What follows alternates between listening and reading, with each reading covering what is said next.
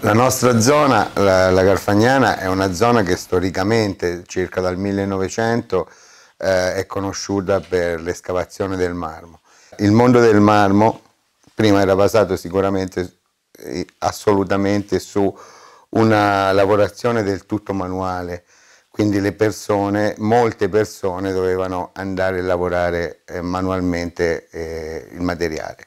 Con l'applicazione, con l'arrivo delle nuove tecnologie è diventato tutto più veloce, è diventata più veloce l'escavazione perché adesso già in cava si, si scava in maniera diversa, più sicura e eh, anche eh, facendo meno danni ambientali.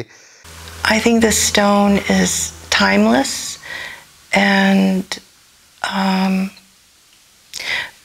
I think it's the ultimate medium. The marble's got a spirit to it. It's got an energy to it. It's got uh, a kind of um, history. Uh, it's got the weight of many years behind it.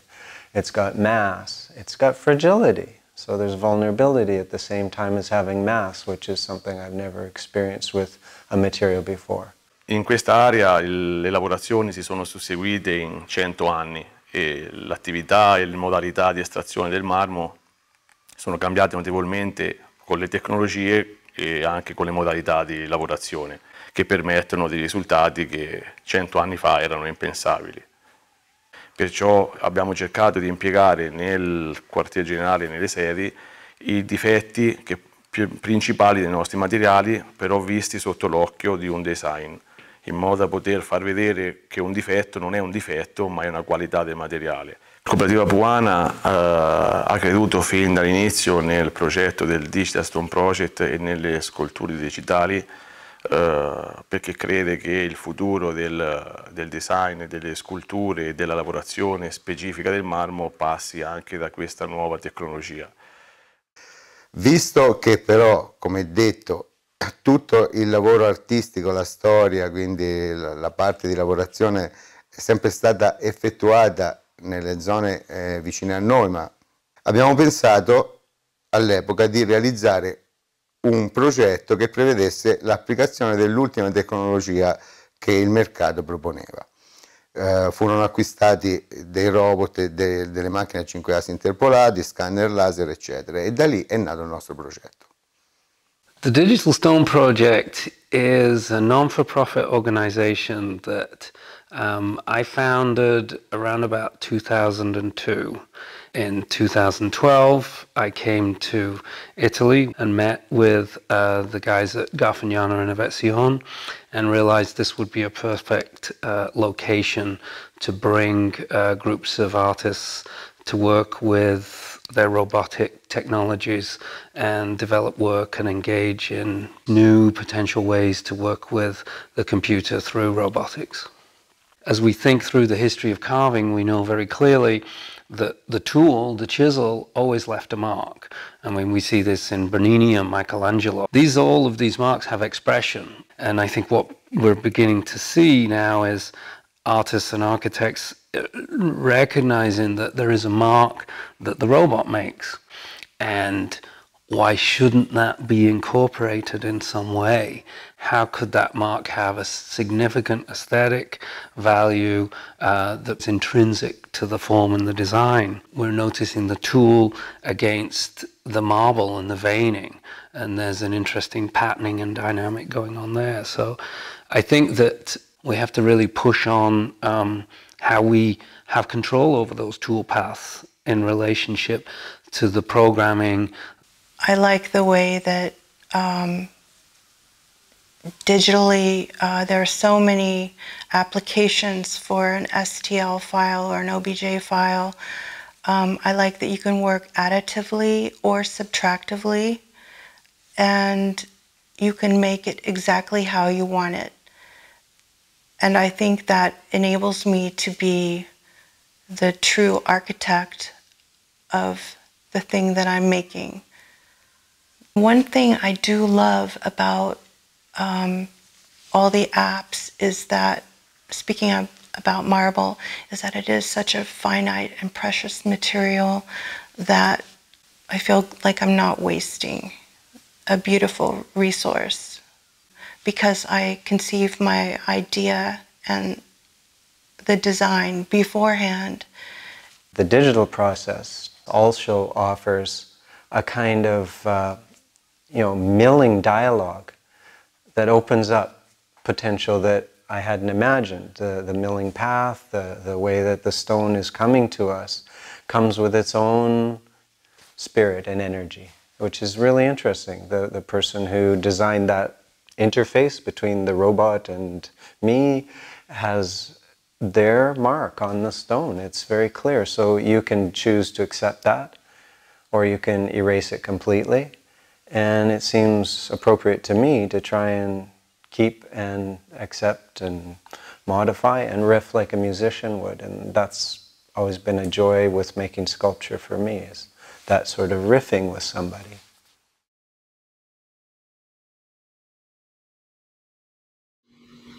My mission for this project was to see what new opportunities we could find uh, mixing a material with such a long tradition such as marble and sculpting with new processes and new technologies such as robotic carving and procedural modeling and generative modeling.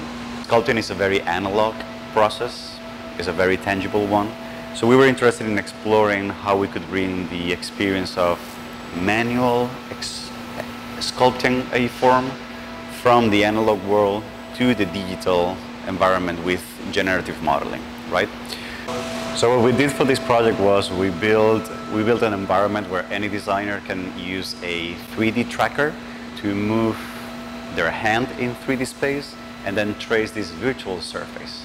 And then we used generative modeling to convert that surface into a solid object that had the structural integrity that was required so that we could extract this unique and elegant surface out of a raw block of marble.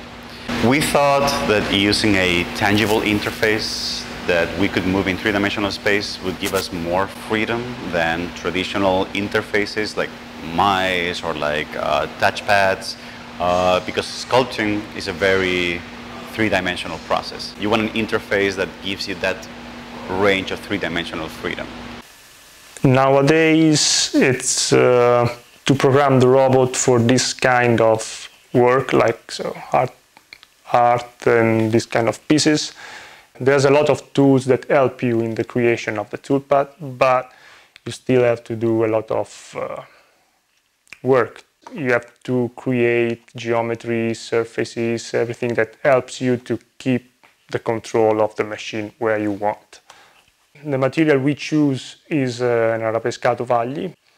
We choose that material because uh, between our local material that is one of the most translucent that we have. There's also some artists, uh, they are kind of digital artists. They want to see the machine, the touch of the machine in the end on the final surface of the sculpture. So uh, they use basically the machine as part of their creative process and not as a, a medium to create something faster. To realize this, uh, this piece for, for Autodesk, it was very challenging uh, because very, very thin. And with marble, it's not so easy to reach uh, kind of thinness. At the end of the day, we believe that with this piece, we were able to explore and to open up new possibilities to what can be done in the 21st century with a combination of high-end robotics, state-of-the-art software, generative modeling tools. Um, but on top of that, our interest in this project was to be able to create tools that other people most people in the world could use for the same matter. So, in fact, um, we've open sourced uh, most of the tools that we did for this project. So, with the hope that anybody else, artists, designers, sculptors, architects, could take those tools and then they could also participate from this wonderful experience, which is carving marble with robots.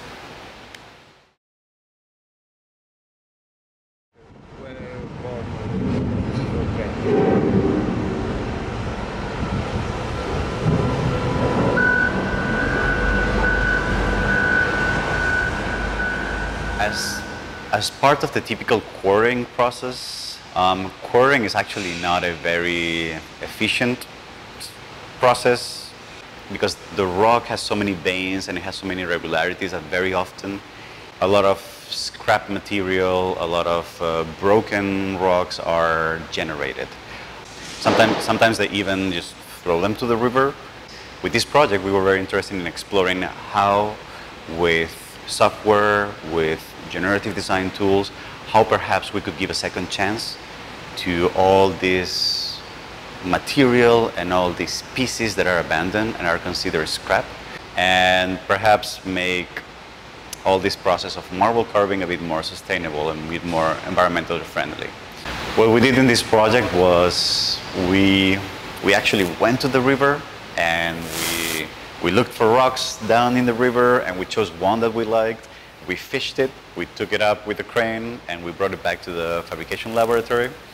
And then in the, fabric, in the, in the space, we 3D scanned it so that we had a digital representation of this rock. We do a certain number of scans of the, of the model from different point of view. Then we have to take some reference point on the object and to align all those scans. Once aligned, we have, um, let's say, a cloud of points of the whole surface that we can export in one of the common file formats. Once we have that, because it's digital information, you can use generative design to process that information however you want. So what we did was we wrote some algorithms so that we could propagate a pattern on top of that rock. And uh, we also incorporated in those algorithms all the machine instructions that the robot need in order to carve that pattern on top of the surface. Um, that allowed us to create a process where with any input rock, we could get any pattern grooved on top of that rock, and therefore, with procedural workflows, with algorithms, with generative design, we were able to give it a second life by adding value and adding uniqueness to that object. We made something that was um, discarded and wasted, we turned it into something useful.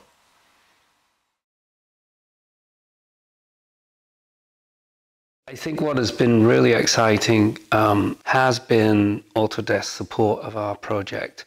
I think that um, what has been really wonderful about that sponsorship and proposition has been to give sort of free enterprise to the participants to really explore potential ways of working and, and, and using Autodesk software as a platform and see what new can be brought forward in that, that regard. I really look forward to seeing much more experimentation, much more research, and much more forward thinking from this combination of incredibly talented artists, incredibly savvy and expert engineers, and people willing to innovate and push the boundaries of what's possible in this field.